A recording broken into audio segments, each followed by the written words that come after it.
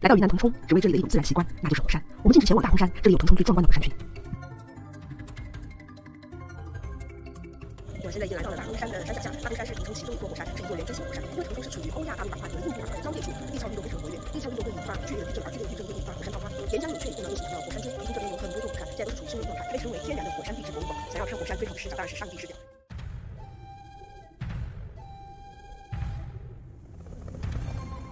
大孤山位于腾冲马占火山群的南部，火口直径四百米。火山喷发出来的岩浆冷却后凝固成岩石，最终风化形成了滋养生命的土壤，而火山喷发产生的二氧化碳构成了地球生命的基础。虽然大孤山具体喷发时间尚未确定，但因它而生的活泼生机却是显而易见。腾冲森林覆盖率达百分之四十六点一，植物种类超过二千五百种，兽类一百余种，鸟类三百余种。因此，火山不仅是自然的奇观，更是地球生命诞生的胎记。来到腾冲这座火山地质博物馆，见到火山的这一瞬间，也就见到了地球四十亿年的岁月。